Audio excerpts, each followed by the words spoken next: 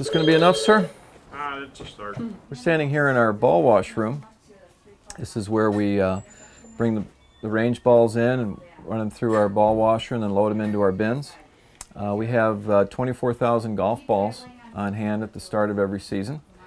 And uh, we like to use the Srixon range ball. It uh, has a very nice feel to it. Feels a lot like the high premium balls that are sold in golf shops. We replace the balls every spring. We've got uh, what we call our ball picker. It's a tractor with uh, two gang golf ball picking units on them, one in the front, one in the back. It can load or pick up about uh, 3,000 golf balls at a time. So we bring the balls in, we pour them into our hopper here. Turn on our ball washer. Let them be fed into the washer where they run through a spiral track with a soft bristle brush that cleans the dirt off of them. They come through the wheel, the lifter wheel at the far end, which pushes them up, them up through the PVC pipe and out into our bins.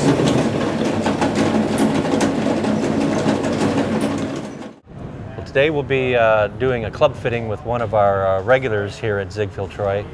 Jay Bolm is a low handicapper and uh, he's going to be uh, looking at seeing about whether he needs uh, to get fit for a new set of irons. Hit them all like that, Jay. Hi, Mark. How are you? Good to thanks, see you. Thanks for seeing me today. Glad to have you out here. I've had these clubs for a few years. You know, I have a basic understanding of lie, loft, stiff, regular. Those are the basics. But um, you know, maybe I could do a little bit better if you showed me through. Okay. Took me, took me through the steps here. Well, all we need to do is spend a couple minutes with the interview process, so let's Okay. get started with that. The importance of the interview process is to find out how tall they are, uh, their hand size, uh, some of their tendencies, whether they pull the ball, push the ball, slice, fade, hook, draw, you name it. What we're trying to accomplish here is to make sure that we get the proper lie angle. That is the number one uh, specification when it comes to club fitting. If you get Okay. too upright a lie, you're going to pull the ball left. Too flat of a lie, you'll push the ball to the right. So we got you at five foot ten and 35 and a quarter for your wrist to the floor. We look at the ping chart down here. We'll look down five foot seven to six foot one, and then at 35 and a quarter, that puts you in the yellow. So what we'll do is we'll pull out a yellow color code. All right. We'll test that for lie angle, and if we need to go up or down off of that, uh, that's what we do when we hit the ball in order to test. So this is a starting point, and then we This is a starting evaluate. point. Very good. Exactly, right. But what we want to do first is test your club. The reason why we start with having them hit their own golf clubs is that's what they're used to right out of the start. So they get warmed up, we test that club, and then when we're done testing that club, that's when we can make our best decisions on what different clubs may need to be um, offered and recommended. So let's put some tape on the bottom of your club. You got a seven iron there. We're gonna hit balls off the board. Great, good contact. So let's take a look at that tape. Look at that. Look at that scuff mark right there. Our goal is to get that as close to perfectly centered as possible. I'm gonna leave yours off to the side because we'll compare that with the flight scope in a couple of minutes. At this point, we go to the fitting clubs, have him hit shots with that club, compare that to what he's already using, and then start to narrow down just what specs he should have. Here's the yellow right here. Mark, the fact that that's a graphite shaft, not gonna make any difference. We're just worrying about the lie. at We're the just moment. worrying about the lie at the Okay. moment, that's correct. Okay. All right, let's see how that yellow performs.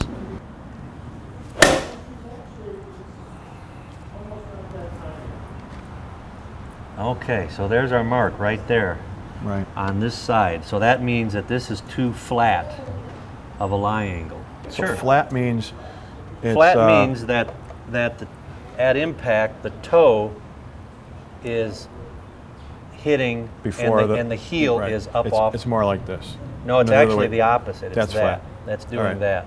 So that tells me that we're in the neighborhood of about two color codes, about two degrees off. Wow. So we would need to come up from yellow And let's try a white. Wow.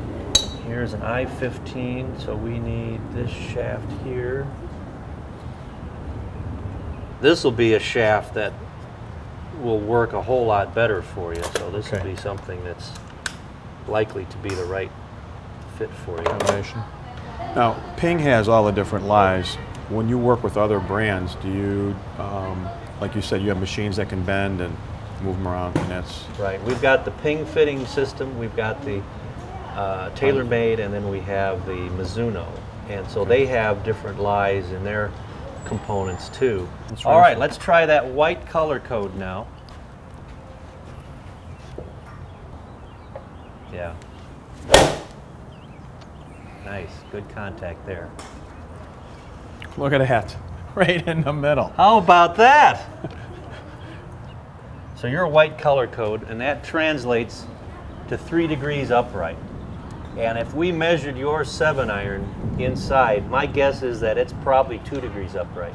Now, I would also imagine if you have the wrong lie angle, then players may try to adapt, and now they've compensated, and they're, they're putting the wrong swing on a club because they have the wrong club in the hand to begin with. Well, and, and I'm a perfect case in that because when I first started playing, I didn't know anybody, and I just went into the sporting goods store and I did what everybody else does. Hey, this feels good, and Right. I out the door took them. They were too flat, and so I developed an outside across swing without releasing the hand, so I could To kind of massage that ball straight where I wanted it to go. That's just how I developed my swing. You know, Sure. I, I adjusted to the equipment. versus the equipment fitting the person. That's exactly right. Yeah. Now let's hit on the flight scope, and we'll start measuring your seven iron versus the ping seven iron, and we'll see if there's a definite improvement one versus the other, or maybe you've got Good a good know. piece of equipment right there. Good to know. All right. The flight scope is the real uh, upgrade to club fitting. Uh, we uh, re- acquired the, the uh, flight scope just last year, and what that does is it gives us even a better picture into the window of each golfer's ability. tells us how much uh, the ball is spinning, how long it's in the air, how far it travels, how fast the club was being swung at the moment of impact can tell us all of these things gives us a better window into just exactly what's going on with the club that the golfer is hitting.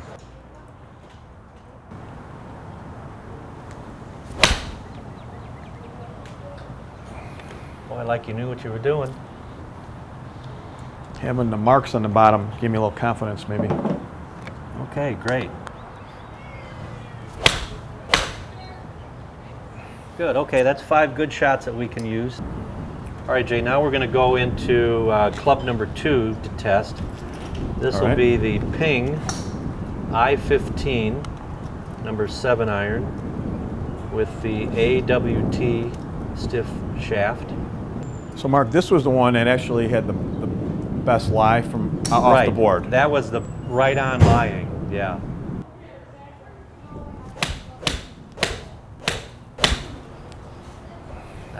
That was ball number five. That's a good one to end on right there. Very good. That felt good. I mean, I know, like you said. Yeah, you the shaft was working well, well for you, I thought.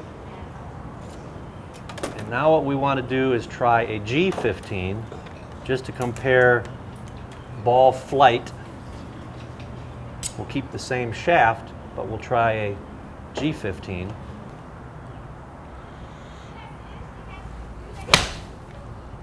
Attaboy.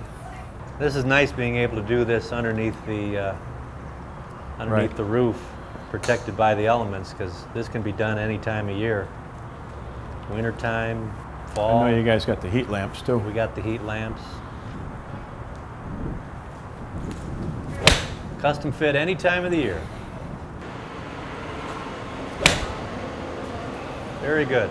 All right, let's take a look. So we first hit your TaylorMade, Right. then we hit a Ping I-15, and now we just got done with a G15.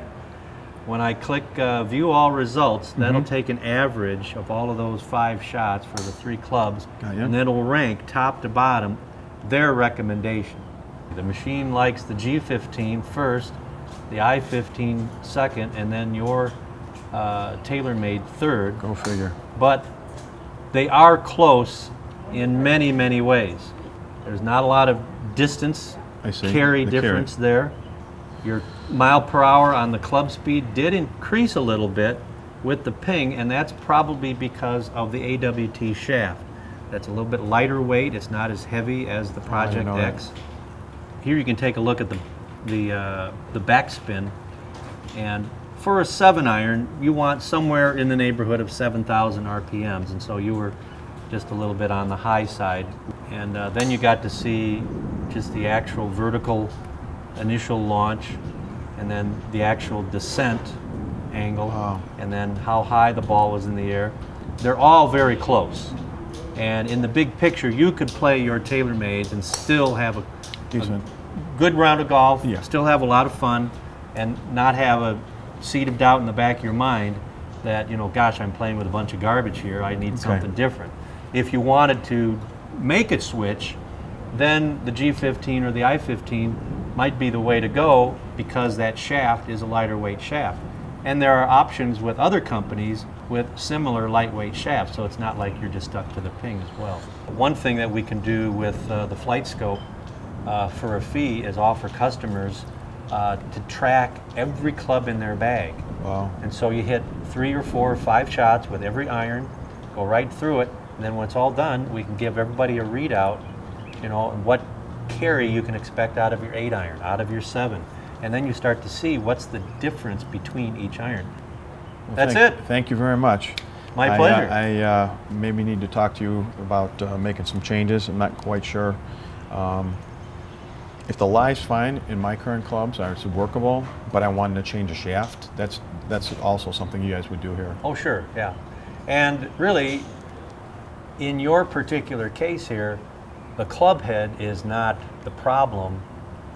Uh, Problem being, I use that cautiously. too flat or too. It, you know, you've got a good lie angle there, Okay. but the shaft, you might get a little bit more performance out of a little bit more lighter shaft. Keep it stiff, but just Right, a little bit lighter in weight. Okay. Good to know. You know, and, and we can always swap out shafts too, uh, if that's an option that you want to do as well. I'm I'm more educated than I was 45 minutes ago. So thank you. My pleasure. That's a lot of fun. No matter what level you play, club fitting can dramatically improve your ability to hit the ball, your ability to control the ball, and just your overall fun. So whether you're just getting started, and playing for five, ten more years, or you're an accomplished low handicap golfer, club fitting makes a difference. On the next episode of Zigfield Troy Legacy, Take lessons. Take as many lessons as you can. Gail's been coming to Zigfield Troy Golf here for about 15 years, I'd say. There you go. That was in the sweet spot, wasn't it? Yeah. Yes. Look. Look. Don't listen to your boyfriend or your husband or to the guy next to you on the driving range. Just listen to a pro.